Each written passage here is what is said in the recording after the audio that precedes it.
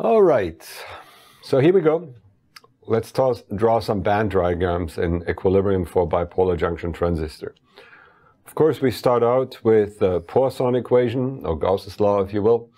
And uh, we've described already a, a way of how to draw band diagrams for PN diodes, right? You start out from always draw a Fermi level as flat as you can through the device.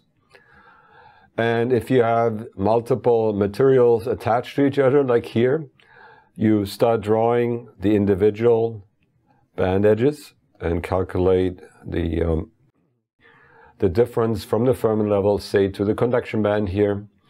You do the same for a base. You calculate here how far the Fermi level is from the valence band, and you do the same thing here. And you draw in the vacuum levels for each material and you seek out a common energy level. Again, this vacuum level all across this device, that's common, so you draw a connection here. And you transfer those connections down and connect the conduction bands and valence bands. If they don't connect, you might have a heterostructure like we had in the Schottky contact. Here we're considering just a homo junction uh, transistor. In uh, a later section, we will be talking about a heterojunction uh, transistor, where this will not look as, as neat. But here, there's nothing new. You've seen this before. This is just two PN diodes backed, uh, uh NP and NP diode backed together. So let's define a couple more of these uh, terms.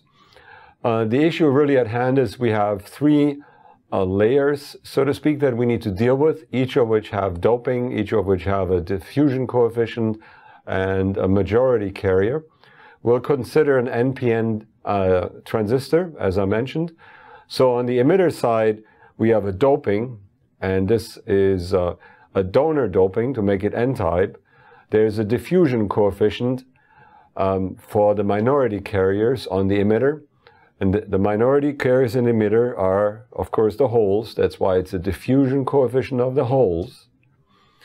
And we have a majority carrier, which we will also index with an index E. Okay? Of course, on the other N side, we also have diffusion coefficients and uh, donor dopings and an electron concentration and equilibrium, but obviously they can be different. The doping can be different. There can be other treatments for the diffusion coefficient, different traps, different recombination. So therefore, these coefficients are different. We need to give them a name. And basically, we index them with a subscript C versus the subscript E. Otherwise, of course, the content of these uh, variables, the meaning is the same. We just need to index them.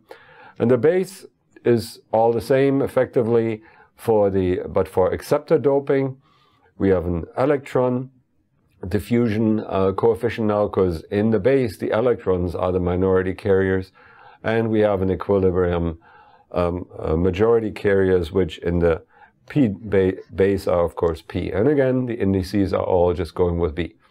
So now we can pretty much use all of the expressions we had for the pn junctions in the same shape or form. Okay. All right so let's do some of this so we have uh, two junctions like this. And we have calculated in the past uh, that we have a depletion region here. And the depletion region has certain extent in the um, emitter side. And we have uh, associated that with a built-in potential. We have associated that with a, a doping. Uh, in equilibrium, we have the uh, other parts on the, uh, the p side, the length of this depletion region. Of course, we have charge balance between those two doping uh, regions where, the, where we have uh, depleted the free carrier. So we go back to the depletion region approximation. You've seen these expressions now multiple times. There's nothing new here. We're just transferring those from the PN junction.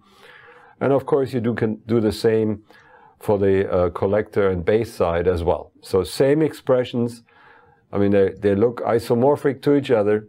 It's just you plug in the appropriate uh, doping levels on the respective junction side. Okay?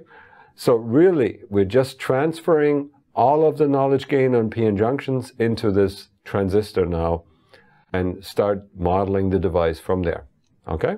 So really, same thing as before. So this should be all very familiar. And now we can begin to calculate some currents in the device similar to the PN junctions. And we'll do that in the next segment.